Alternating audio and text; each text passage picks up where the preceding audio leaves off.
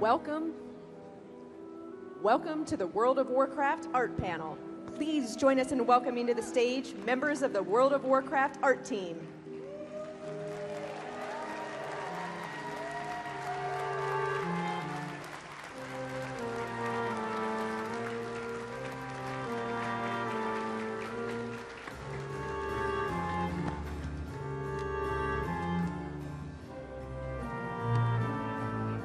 Everybody.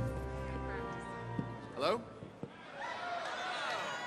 Welcome to the World of Warcraft art panel. Uh, my name, all right. My name is Rob Foote, and I'm the uh, senior art producer on World of Warcraft. Um, I'd like to take a minute to thank all of you for coming, especially early in the morning. Uh, it's especially impressive considering how many of you I watched close out the Hilton Bar last night. So, let me give you a synopsis of what you're going to see on this panel. Uh, we've got a lot of great things to show you, and what you're going to see is the, the work of over 40 of the artists on the World of Warcraft art team. Uh, they've been hard at work working on our new expansion. I don't know if you've heard of it. It's the Mists of Pandaria. So, the Pandaren are something we've really wanted to do for a long time now, and we're really proud that we've been able to actually dedicate an entire expansion to the Pandaren and to their lands.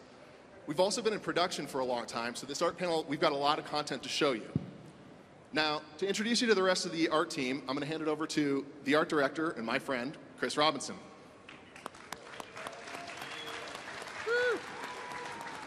Thank you, sir, and friend. Enemy. Ouch. Uh, so we literally created a massive amount of content for this expansion, um, and there's way too much to show you. We'd be here all week if we wanted to go through everything we've done. So uh, it's been very difficult to pare down. We think we came up with a pretty cool show for you guys. Uh, but before we get rolling with that, I just wanted to take a minute to introduce you to these people. So first and foremost, you know Rob Foote. I got some, I have some pictures here.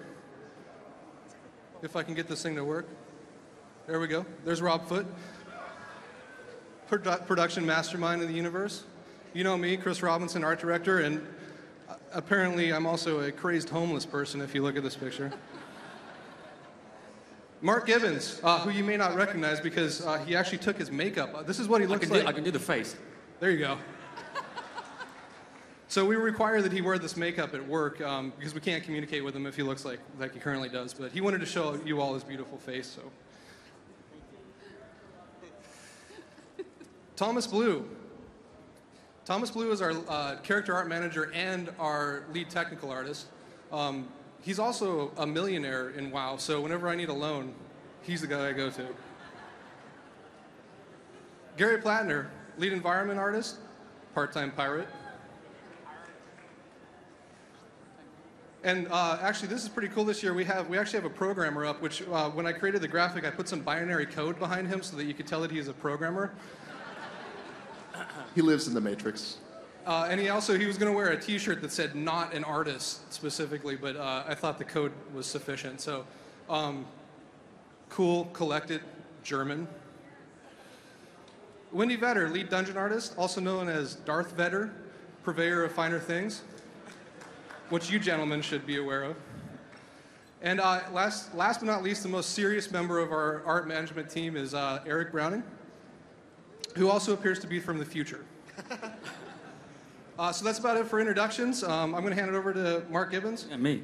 Talk a little bit about concept art. Thank you.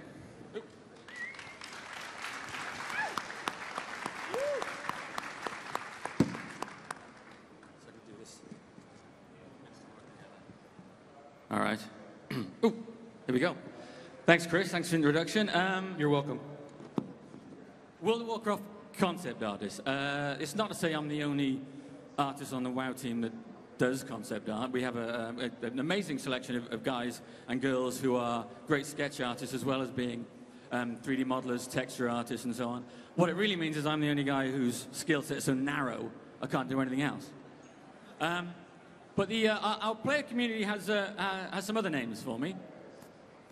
Crayon, crayon wielding monkey, I was called uh, just the other week. Wildly, wildly inaccurate. As you can see, if you look at the magnificent illustration there, I'm a pencil wielding monkey.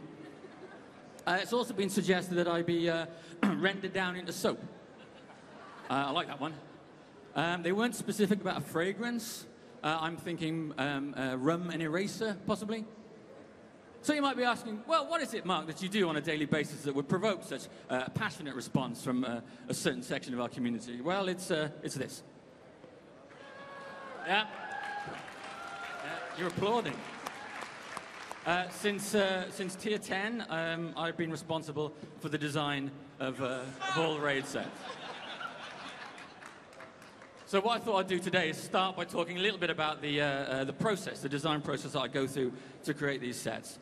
Um, it all starts with a, a brief from design. Um, it'll usually just be the title of the set and maybe a couple of lines of, uh, of explanation uh, if there's a, a particular theme or uh, materials that they want to see in the armor. Um, and then I'm left to my own devices.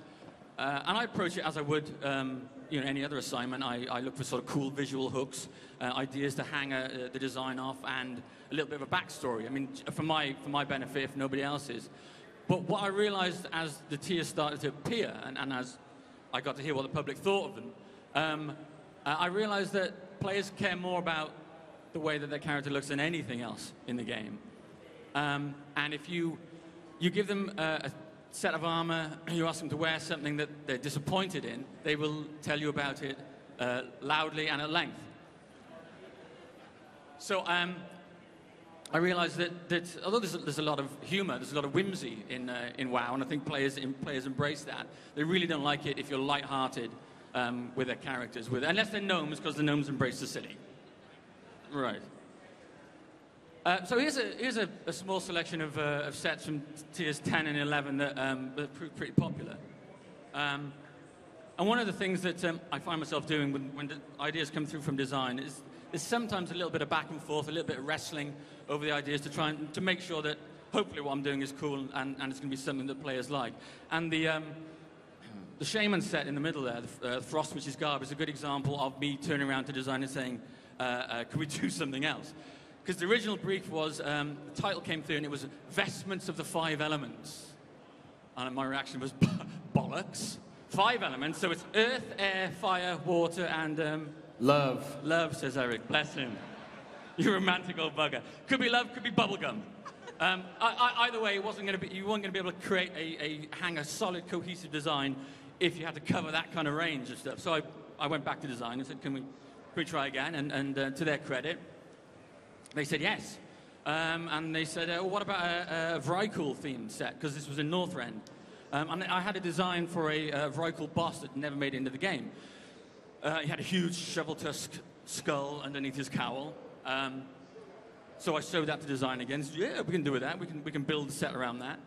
Um, and that's what we ended up with. And I think it's a mark of the, of the set's success that, um, when I last year, somebody had built that costume. And I think if somebody's going to go the time and effort, gluing all that cardboard together, sticking all that plastic, and wear it for two days, I probably did a good job. Thank you. The other thing I try and do is, um, is up the epic every time when, when the opportunity presents itself. Um, and that can, be, that can be tricky. That can be quite a balancing act because the, the bigger and the more elaborate uh, uh, the armor gets, the more potentially unwieldy, and, and you, you, run the risk of doing something a little bit ludicrous.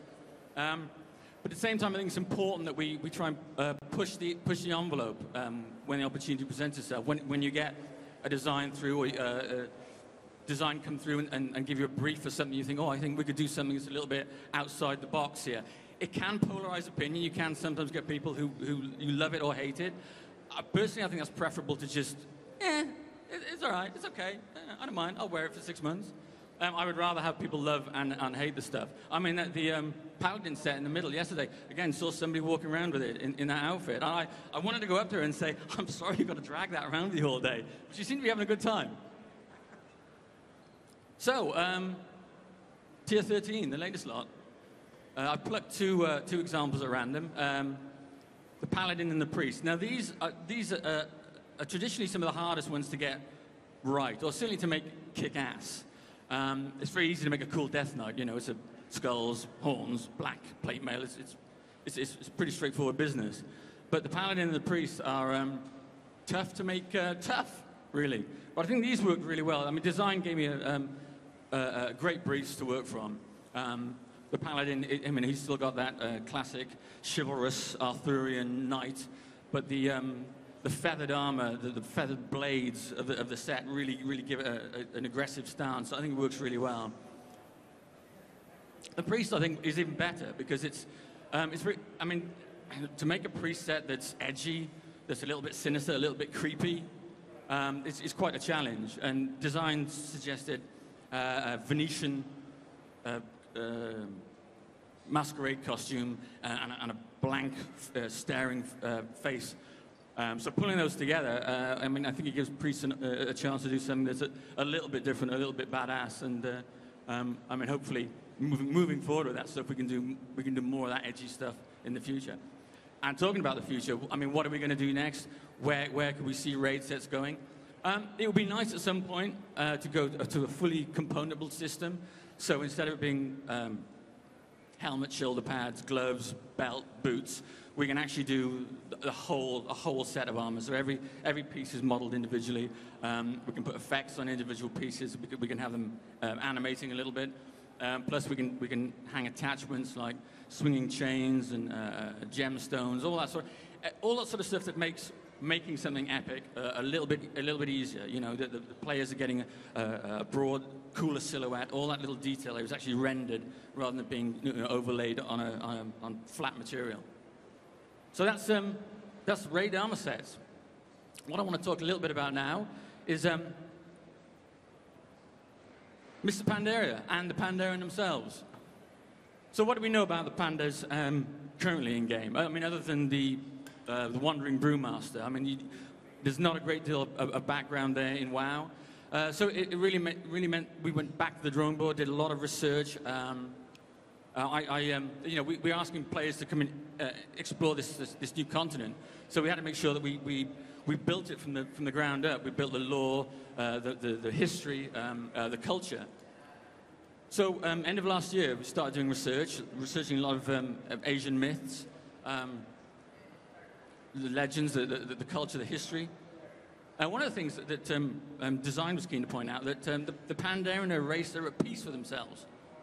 That's pretty unusual for World of Warcraft, you know? There's no petty factions, there's no rivalry within, within Pandaren society, but we still, you know, to hang quest lines off, but we still have to have that, that, that depth, that breadth of, uh, of story and history.